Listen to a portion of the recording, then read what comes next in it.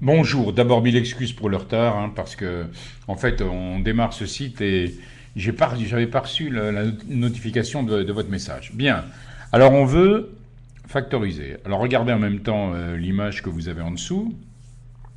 4x plus 8x plus 4. Mon travail, c'est d'arriver à trouver un facteur commun. J'ai 4, j'ai 8, j'ai 4, je peux avoir une idée, ils sont tous, dans la table de, de 2. Donc je mets 2 je remplace 4 par 2 fois 2, 8 par 4 fois 2, et puis le dernier 4 par 2 fois 2.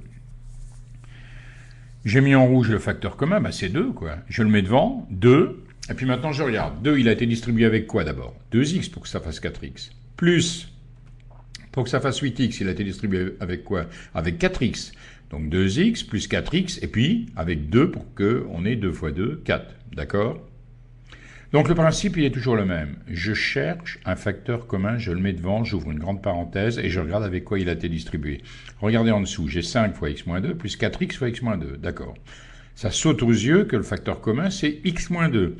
Alors ne vous affolez pas, c'est pas parce que c'est écrit avec un x que c'est compliqué. C'est comme si on avait un nombre. Surtout, vous n'oubliez pas les parenthèses. Vous avez donc x 2, avec quoi il a été distribué d'abord? Avec 5, plus 4x. D'accord? Donc c'est toujours le même principe. Je repère le facteur commun, je le mets devant. J'ouvre la parenthèse et je regarde avec quoi il a été distribué. Bien, n'hésitez pas à revenir vers moi en cas de problème. Hein.